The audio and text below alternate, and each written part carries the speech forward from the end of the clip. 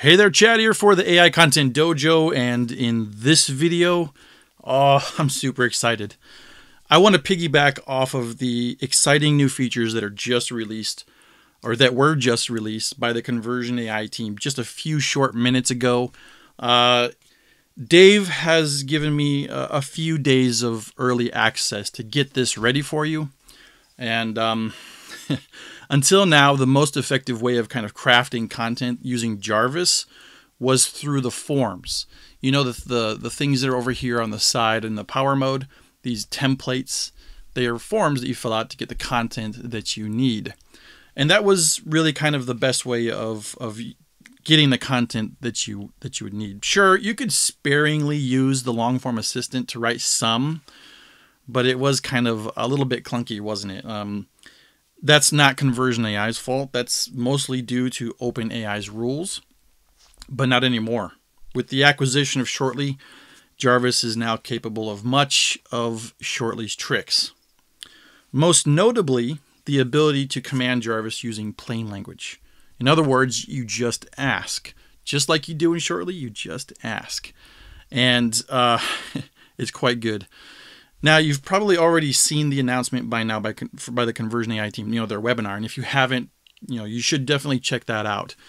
But here in this video, I want to show you some of the capabilities that the new Jarvis kind of brings to the Conversion AI community, things that the Shortly crew have enjoyed for a few months now. Stick with this to the end too, because the grand finale that I'm going to showcase really shows the power of what Jarvis is capable of now. Okay, first I want to start off with how do you command Jarvis. So to set that up, let's first think about how it was done inside of Shortly.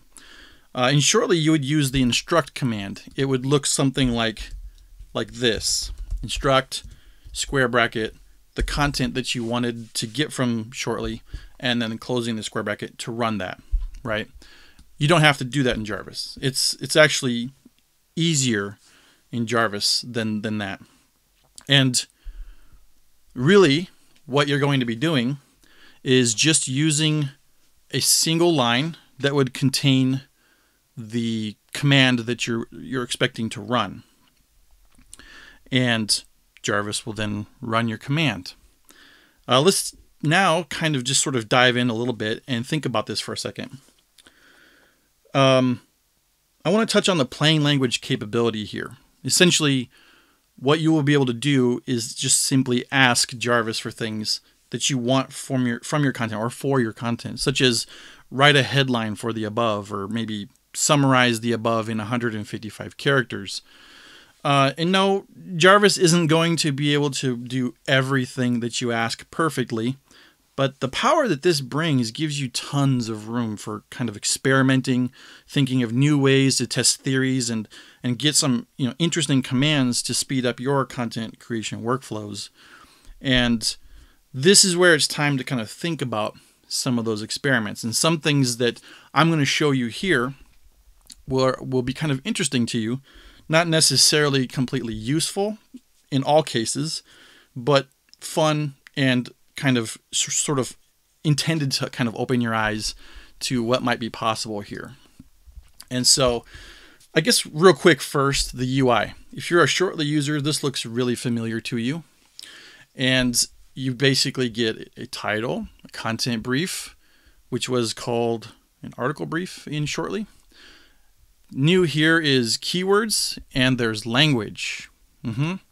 I don't think that there's a lot done here yet. This is going to be something I'm sure that the Conversion AI team is going to expand upon in the future, but it hints at giving the ability to use Jarvis in multiple languages besides English, which is very powerful.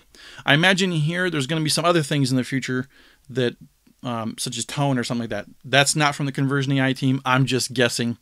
It's something that would be really cool to come to this this uh, canvas uh, going forward. And then you get the output length, you got short, shorter, medium, and longer, and then the compose button. This was called write for me and shortly, uh, and then a redo kind of button to redo your things. And if you want some uh, tips on what the commands are and how to do things inside of Jarvis, you get this cool little button over here, and that's the UI. Now let's jump into doing something cool with the new commands. I got some notes over here. They're just called Jarvis commands, but really what I'm going to do is just show you like maybe how you would do acronyms. Like let's just say that maybe uh, maybe you're trying to craft an interesting acronym for your brand. You know, I don't know. Jarvis can help you. Let's um, actually don't want to paste it that way because interesting feature of this bear writer over here is I can copy and enrich text like that. Okay, so let's say that I've got three words. The fourth word is is just eluding me. I want to spell fast for the acronym for my company, and I was like, what's what's something that could come with a T? Now in Jarvis, this is since this is the first time I'm running it, I'm going to explain it to you. Jarvis, you just hit Command Enter at the end of your command, right? Just like this. Finish the finish the list with a single word starting with a T. I can hit Command Enter, and hopefully Jarvis gives me a letter, a word that starts with a T. Traveler. Okay, focus, action, success, traveler. I might not want that. Let's undo that. I want to show you now where you can hold down Shift, Command Enter, just like in Shortly, and this should stay. Try. Hmm. Okay. sure. Try. Oops. Sorry, I'm still getting used to um, the keyboard commands and stuff on Mac. I've been a Windows user forever. Okay, so there you go. Jarvis is able to get you a word that starts with a T. Now that's might not be the word that you want, uh, but you can just keep redoing it until you get one that's really cool for you. All right, let's take that away. Let's talk about the before after bridge. Now this is where it gets pretty interesting. The before after bridge is a copywriting formula, right? And uh, of course, this is a conversion AI specialty, right? Copywriting. Uh, you could easily just kind of switch over here into power mode uh, find the before after bridge, right? And just fill this in to get the content that you want. Oh, look, there's some beta language features here. This is new. Very nice. I'll cover that in a future video. Um, oops. Gotta be careful. That's not how you get rid of that. You go over here. When you're in power mode, you go over here to, to focus. And I think that um, this is not what it's going to be called in live. Um, I'm doing this early in some beta code, so I think that they might actually be calling this shortly like feature, this canvas where you just write with Jarvis and using commands, might be called boss mode or something like that in the future. Uh, but the before after bridge. Now you could use that template, but I want to show you a way where I'm actually I don't want to copy that whole thing. Let me show you this first. There's a couple of important things about what I just pasted in here. One, Birdie right? Birdie is, uh, well, Birdie is a revolutionary new backyard bird feeder with a 360 degree ultra ultra HD camera, but that's something that there's no way Jarvis knows anything about it, right? It's just something that I made up. It's not a real product, although funny enough that after I started talking about my my fictitious bird feeder, Facebook has been showing me some bird feeders with cameras. so, thanks Facebook. Uh, so my point is though, since Birdie is something that Jarvis doesn't know about, I went through and I provided a pretty decent description of the product. So that when I want to do things to that description, like a before after bridge or an AIDA or something like that, you just now you can just ask. So I'm going to hold down shift, well, let's yeah, well, shift command enter. Let's let let's let the command stay there and see what Jarvis gives us. Before, after, where's the bridge? Are we going to make it? That's a lot of output. didn't make it. Okay. I guess it's good that it shows that. Um, what you'll find is that many times it will make it. So now probably have to do something like bridge and compose, which is command J. And let's see if it, yeah, there we go. We get the finish out of it. All right. So, and then one thing too, right now in this beta stuff, uh, when you run the command, with shift so that the command stays, uh, the content comes in like right there at the cursor instead of dropping down. But I've already let them know they're going to be fixing that and it's pretty cool. So there's a before after bridge for that product. I didn't have to go through the forms, the templates, and you notice that I haven't even done anything in the title, no content description, no keywords, nothing. Uh, Jarvis will do a better job when you start filling these things in and have more context for him to work with. So let's move on to the next one. It's an interesting one. So before after bridge was maybe something functional for a marketer. I want to talk about baby names now. now, this is interesting. So, uh, this sort of alludes to more power that this that this tool now has, right? Kind of under the surface, there's a, who knows, probably an unlimited number of things that we can do now. But let's say, let's give me a list of name ideas for my new baby girl. Run it. Should get a list. Mm-hmm. Leah, Lucy, Sophie, Scarlett. What if I wanted only names that started with a C? Okay, let's run that. We should get some C names. Caden, Carter, Claire. Okay. What if you wanted to do it by nationality, where you wanted a list of Indian baby girl names that start with an S? We should get that list. Yep. it's so cool, isn't it? Um, yeah. Jarvis is happy to oblige. So that's that's names. That was just a fun one. Let's how about a, a letter to a friend? Let's let's see what we can do there. A letter to a friend. Let's say that the, there's a new Apple product coming out in November. You know, iPhone typically does come out in around November time frame. Let's see if the friend, if you want to write a letter to a friend about it. Dear friend, hope you're doing well. I was wondering you're thinking about the upcoming release of the iPhone 8. Whew, that's a little ancient. Let's, let's change that to 13 probably and fix that because Grammarly doesn't like it for of the iPhone. Okay, so the other nice thing, Grammarly works just fine inside of this blank canvas here, which is really nice. So when you need to kind of keep up with grammar with your grammar and, and checks and stuff like that while you're in the process of writing. If you find it annoying, of course, just go up here and turn it off in the browser like this, and then you don't have that problem.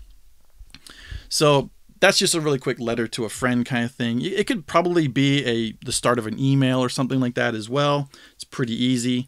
But let's move on to the grand finale, right? This is the last thing I want to show you because it kind of really showcases a bunch of power all in one. And I don't want to give you too much up, up front.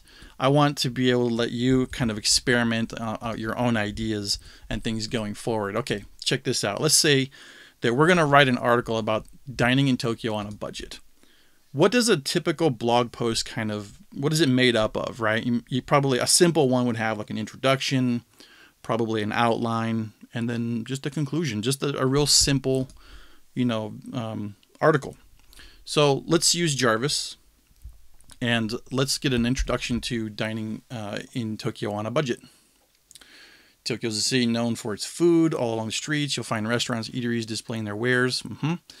Pretty cool. All right, and you might use that. It, it might be okay. You know, if that's if that's your thing, you might use that. That's a not a not a bad bit of content. might redo it a few times to get the introduction you're really looking for. But again, this is very similar to just going over into power mode and looking up the was it intro blog post intro. You might do. You, you could of course use. Oops.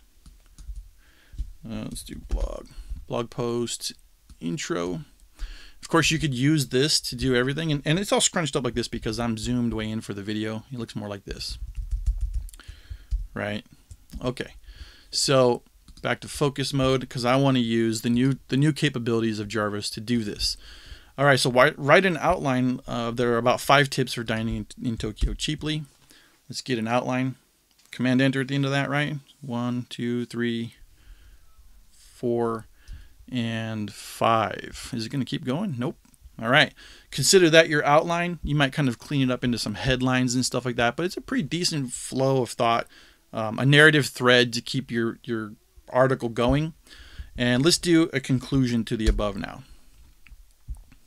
This should get us a nice little finisher paragraph that we can use to kind of cap off our, our article, our blog post, and then we're we're good to go. It's pretty cool, right? This is a pretty fast workflow, I think. But I do kind of want to bring up some caveats to this. You're the writer, right? Jarvis is your AI assistant in this case. Please use this wisely. You know, keep your reader in mind when you're finishing off your content. Don't just blast through the content just to get content done. You know, create with a purpose. You know, you're trying to serve your reader, you give them what they need based on what they searched in Google, right? That's the very reason they're even there reading your content in the first place. So do that, you know, kind of edit it, bring it to your voice, make sure that it's not overly fluffy, that it kind of quickly gets to its point, but also thoroughly answers the reason why they're there at all. Um, and, you know, do that and you'll be very successful with this workflow going forward. Okay. So before I really kind of close this out, one last thing I want to say before I end this video is with this new capability in Jarvis, there's an almost unlimited amount of capability here, right? It's up to your imagination now. Now, I maintain a compendium of interesting kind of use cases over on the AI Content Dojo website, where members of the AI Content Dojo Facebook group and I kind of experiment and share our interesting finds. And I'll have a link to that in the description uh, of this video below. But if you find something really cool, like a really cool way to command Jarvis, then please share. I'd really love to add it to the compendium for everyone to learn from. And that's it. That's it for this tutorial. Thanks for staying this long. If you're not a Conversion AI user yet and you would like to subscribe to it, I would be really thankful if you use the link in the description below. Con the Conversion AI team will give me a small commission to support the dojo at no extra cost to you, and I would be forever, forever thankful. And with that said, that's it. And until next time, take care.